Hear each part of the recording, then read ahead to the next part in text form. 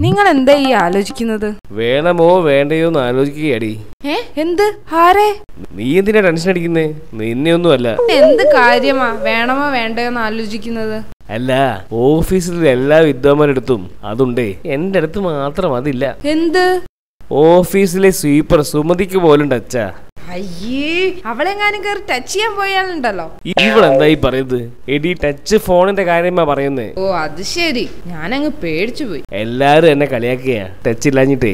എന്നാ നിങ്ങൾക്കൊന്ന് വാങ്ങിയാലെന്താ? എടി നല്ല ഒന്ന് വാങ്ങണേലേ. ഒരു അയ്യായിരം രൂപയെങ്കിലും ആവും. കുറച്ച് കാശ് മിച്ചം പിടിച്ചങ്ങ് വാങ്ങിയാ പോരെ. ഇപ്പൊ എങ്ങനെ മേടിക്കാനടി? അടുത്ത മാസം നോക്കാം. കഴിഞ്ഞ മാസല്ലേ ടിൻഡുവിന് നിങ്ങൾ വെറുതെ മൊബൈൽ വാങ്ങിക്കൊടുത്തത്? അതിന്റെ വല്ല ആവശ്യം ഉണ്ടായിരുന്നോ? ശരിയാ. അവനാണെങ്കിലേ ഒരു ശ്രദ്ധയുമില്ല എപ്പോഴാ അത് കൊണ്ട് കളയാന്നറിയില്ല. ഏ ശശി ദേ ടിൻഡു അതാ. അവന്റെ മൊബൈൽ കളഞ്ഞു പോയിന്നും പറഞ്ഞിരിക്കുന്നു അവിടെ. ദൈവമേ എന്റെ നാവ് പൊന്നായല്ലോ. നിന്റെ മൊബൈൽ മോഷണം പോയെന്ന് കേട്ടിട്ട് നിനക്കെന്താ ഒരു വിഷമവും ഇല്ലാത്ത? ചാർജ് തീരുമ്പോ അവൻ ചാർജർ എടുക്കാൻ വരുമല്ലോ അപ്പൊ അവനെ പിടിച്ചോളാം.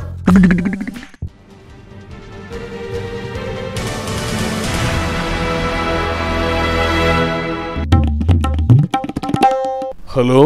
ഓ ഓ അതിനെന്താ? സന്തോഷം. പിന്നല്ലാതെ ഇതൊക്കെയല്ലേ സാറേ സന്തോഷം എന്ന് പറയുന്നത്? ഓക്കെ ഓക്കെ ശരി. എടിയേ ഊണ് റെഡി ആയോ?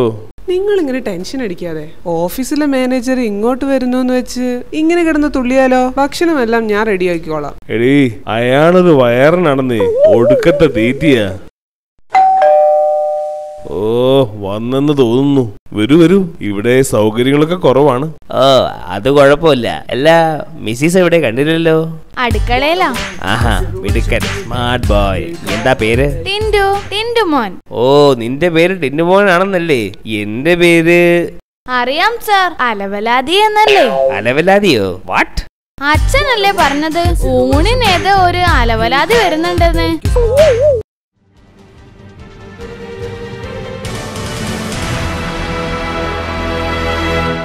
ആ ശശി നമ്മുടെ ടിൻഡു എവിടെ? അവനെ ഞാൻ സ്പോക്കൺ ഇംഗ്ലീഷ് ക്ലാസ്സിൽ വിട്ടിരിക്കുക. ഇപ്പോ ക്ലാസ് കഴിഞ്ഞു കാണും. എന്തു പറ്റി മോനെ പിടിച്ച് സായിപ്പാക്കാൻ നോക്കുകയാണോ? അതൊന്നുമല്ല. ഇക്കാലത്ത് പിടിച്ചു നിൽക്കണമെങ്കിൽ അത്യാവശ്യം ഇംഗ്ലീഷ് ഒക്കെ പറയാൻ പഠിച്ചിരിക്കണം. ശരിയാ. എന്നാലേ ഒരു വെയിറ്റ് ഉണ്ടാവൂ. അല്ല ഗോപിയേട്ടന്റെ രണ്ടാമത്തെ മകൻ അങ്ങ് ലണ്ടനിലല്ലേ? പിന്നെ കഴിഞ്ഞ ഫെബ്രുവരി അവൻ വന്നിരുന്നല്ലോ. അവൻ ഒരു കൊച്ചുണ്ട് ഇക്രു. അവനാണെങ്കിലേ മുടിഞ്ഞ ഇംഗ്ലീഷ് ആണെന്നേ ഗോപിയേട്ടൻ ബുദ്ധിമുട്ടി കാണുമല്ലോ. പിന്നല്ലാതെ അവൻ എന്തൊക്കെയോ ചറപറാന്ന് പറഞ്ഞു. ഞാൻ എല്ലാത്തിനും കേറി യെസ് നോ എന്നൊക്കെ പറഞ്ഞ് അഡ്ജസ്റ്റ് ചെയ്തു. എന്റെ കാര്യവും മറിച്ചല്ല പറയാനൊക്കെ അറിയാം. പക്ഷെ വിചാരിക്കുമ്പോ വാക്കുകൾ വരില്ല. ഒരുമാതിരി പപ്പപ്പ വരും. അതിന് നിന്റെ പപ്പ മരിച്ചു പോയില്ലേ? നമ്മുടെ സോമേട്ടൻ? ഓ ഇംഗ്ലീഷ് പറയുമ്പോ പപ്പ പപ്പ എന്ന് പറഞ്ഞു പോകുമെന്ന്. വല്ല ഇംഗ്ലണ്ടിലും ജനിച്ചാൽ മതിയായിരുന്നു അല്ലേ അവിടുത്തെ കൊച്ചു പിള്ളേര് വരെ ചറപറന്നല്ലേ ഇംഗ്ലീഷ് പറയുന്നത്? ഈ ഗോപിയേട്ടൻ ഒരു കാര്യം ഒരു കാര്യം ചെയ്യ്. ചേട്ടനും ആ കോഴ്സിന് ചേർന്നോ? അയ്യേ ടിൻഡുവിന്റെ കൂടെയോ? ഞാനോ?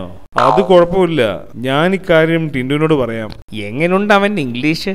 സൂപ്പർ അല്ലേ നമുക്ക് ഏതായാലും ഒന്ന് കറങ്ങാൻ പോകാം ചേട്ടാ. അവനിപ്പോ ആരോടെങ്കിലും ഇംഗ്ലീഷിൽ കസറുകയായിരിക്കും. ടിൻഡു മോനെ ടിൻഡു നിന്റെ അച്ഛൻ എവിടെ? വീട്ടിലുണ്ടോ? just passed away.